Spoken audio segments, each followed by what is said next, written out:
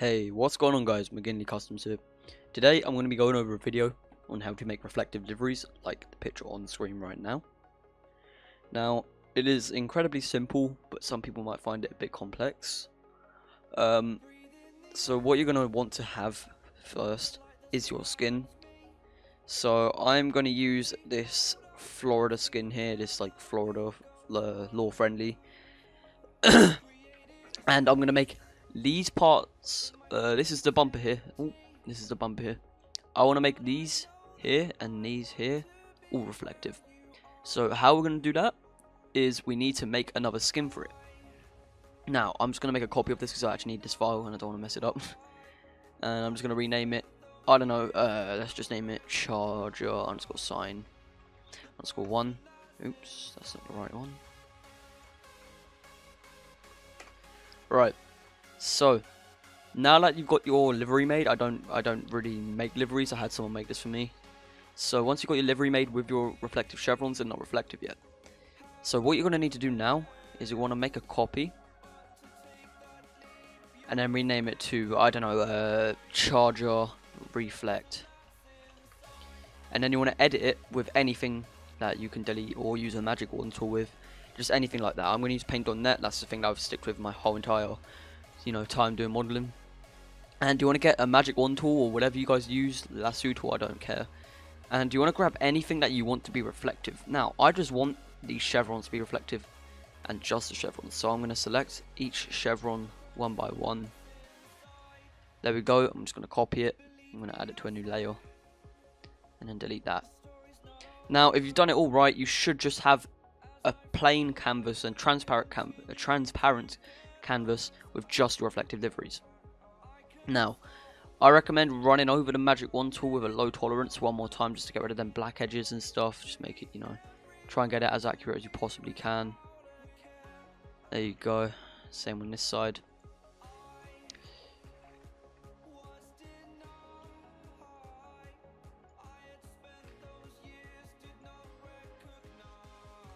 And there we go. So now, now that we've done this, we just want to save it. And if you've done everything correctly, you should have your livery and your reflective transparent livery. Now what you want to do is you want to get your car. So I'm going to load up ZModeler and I'll see you in the program. Okay guys, so now we are in ZModeler and we have our model here.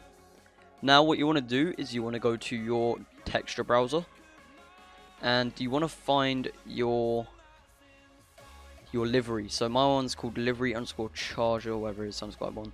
So you just want to replace it with the one that you made earlier, not the reflective one, just the normal one. Now, if you've done that right, then give me a second here, I need to just change a couple of things on this vehicle because for some reason it has a diffuse colour. So if your car ever ends up like this, you just want to change the diffuse colour. Like that. There we go. So we have the chevrons on the back here. So we're not done there. We haven't done everything. So now we're going to go into our material browser by clicking this little colourful ball up here. And I'm going to click new material. Now your material should be made right at the bottom. Now you want to just rename it to, uh, it can be renamed to anything, but just, you know, so you know what you're naming it to, you just want to make it anything like reflective or anything like that. It really doesn't matter. Now, once you've done that, you just want to come up to this little Pac-Man logo while having the reflective material selected. And go to GTAV vehicle generic, and decal.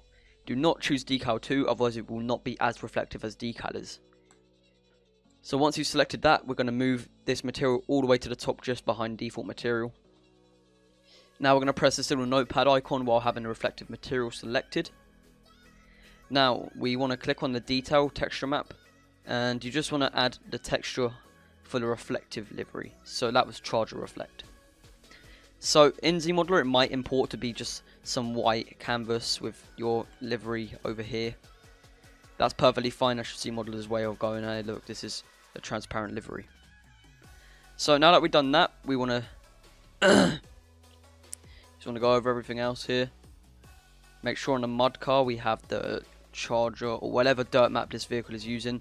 I know this vehicle has a custom dirt map called CHRB Dirt. Uh, this is for a wheel. We're just going to choose uh, blank. This isn't important, guys. You don't have to do what I'm doing here. I'm just doing it so it looks better and in Zmod. And then spec map, we want to make it small. Small spec map there. And there we go, and we have an environmental on it. So now that we've done that, we are completely done with making the material. The material is all made. Now, your vehicle is still not reflective, so what you're going to have to do now is you want to copy the parts that have the reflective livery on it. Now, in my case, it is just the rear bumper. Let me see if I can find that here. Here it is. It's just the rear bumper that I have the reflective chevrons on. So what I'm going to do is I'm just going to copy that bumper. And then I'm going to untick the original one. And I'm just going to right click the copied one. Go to linking and unlink it. Now you've done that, you should just have one bumper and you should have police 2 unselected. So this should be outside of the police 2 hierarchy. So once you've done that, you want to go to polygon mode. and you want to click on it. Now, you want to select the polygons that you have your chevron on. For example, if I select this polygon with separated and I go to display and hide, you'll see that it hides them chevrons there. Now that is what we want because we need to only select the polys that we are using, otherwise your vehicle size will be quite big and you're wasting, you know, poly size that you could use for ions or anything. So you just want to try and make it, you know, as less polys as you can. So I got rid of them chevrons, now I need to get rid of these chevrons here for the little colourful reflective bit. And now I've done that. Now I understand some cars are different. You're just going to have to have a play around with all the select tools and try and select all the chevrons. Uh, select all the polygons that hold on the chevrons. Now if you want to check that you've got them all right again, you just want to click the show tool after hiding them. And then just hide them again. And then show them again. And now if you're absolutely certain you've selected everything, you want to go to modify and detach. Now that you've done that, you can delete that bumper there. And you should just be left with your chevrons and a bit of black paint. Now, we want to delete again the excess uh, polygons because it's just taking up file size and it doesn't need to. Now it isn't extremely important to delete all these polygons, but you know if you if your like if your file size is already low as it is, which mine is, you don't really have to. But I recommend it if you have a high file size car. So you're probably wondering like, oh, is the whole thing going to be reflective? No, that's why we made the transparent livery. So what we're going to do now is we're going to go to our material browser, or you can do it in the properties. We're going to go to the properties actually. We want to select this rear bumper. To go to properties, polygons, and you want to change the material to reflective. Now, if it goes transparent, you've done it right. It's perfect. So, you're probably wondering why your livery isn't there anymore, why your chevron's on there. That is because you have to set it to the map. I don't know how to explain it very well, but you'll see what I mean in a second. So all you want to do if this happens is you want to go to mapping, edit UV, generate new, that is extremely important, copy from channel 2, and then you want to make it on the reflective decal.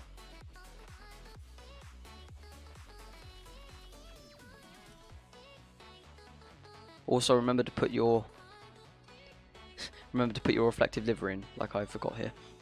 And now that should be set. There we go.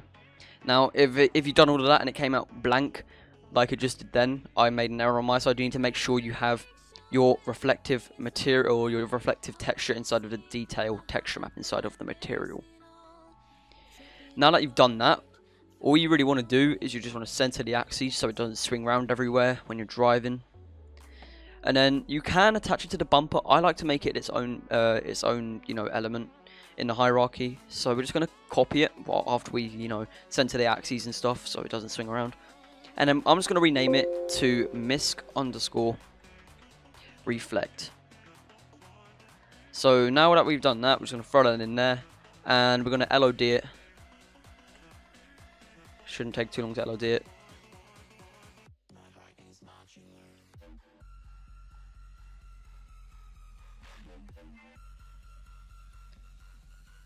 Alrighty, so now that you've done that, you want to just show all and if one part of your bumper is lighter than the rest of it then you've done it right. As you can see it is lighter here than it is there. That is because the reflective chevron is over the vehicle. If you turn the reflective chevron off you'll see that it changes color. You need to make sure that when it's on it gets tinted or diluted whatever you want to say. So now that you've done that you just want to put it inside of the uh, the rear bumper element in the hierarchy so when you, you know, if your bumper falls off, it will fall off with it. So I'm going to put that to the top of the hierarchy. And now we are pretty much done. All we really have to do now is we need to put it inside of our inside of our YTD in OpenIV. So it all works perfectly fine, guys as you saw at the beginning of the video. I hope you enjoyed this video. If you did, leave a like, comment, subscribe if you need help. And I'll see you in the next video. Peace out.